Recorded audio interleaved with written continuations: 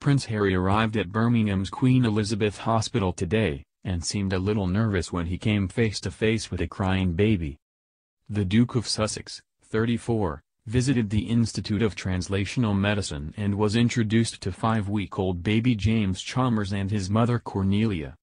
After leaning in to give the little baby a tickle on his back, the father-to-be, almost jumped when the youngster let out a wail, before taking a step back. The baby's dad JJ then told Harry, it's your turn next, to which the royal, who is expecting his first child with Meghan in late April, flashed a cheeky grin. But it was a different story when he left the hospital, as Prince Harry received a warm welcome from staff, with one eager well-wisher even throwing her arms around him. Harry appeared delighted as uniformed staff and well-wishers lined the streets and he was more than forthcoming as he received the offer of a hug.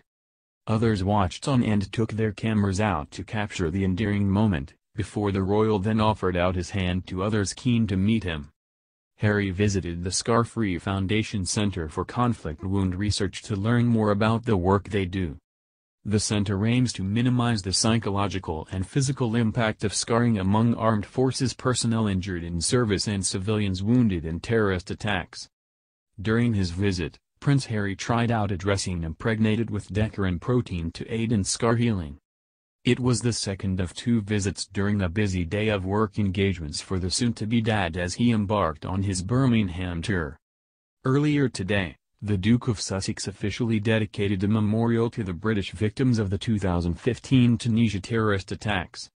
He attended the ceremony at Birmingham's Cannon Hill Park, alongside the families of the victims. The memorial was a focus of remembrance for those killed in two separate attacks on the Bardo Museum in Tunis on March 18, and a hotel beach resort in Sousse on June 26. Addressing an audience of about 200 family and friends of those who died, Prince Harry said, in memory of all those who lost their lives. And to the families whose lives were changed forever by these events.